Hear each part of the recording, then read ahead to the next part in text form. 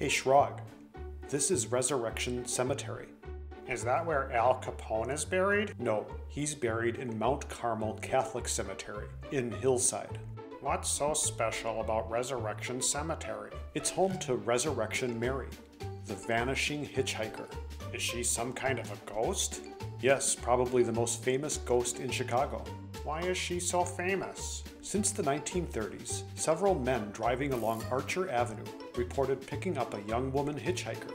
When the men approached Resurrection Cemetery, she suddenly disappeared into it. It's too bad I don't have a driver's license. Otherwise, I'd give her a ride. You don't have a driver's license? Eh,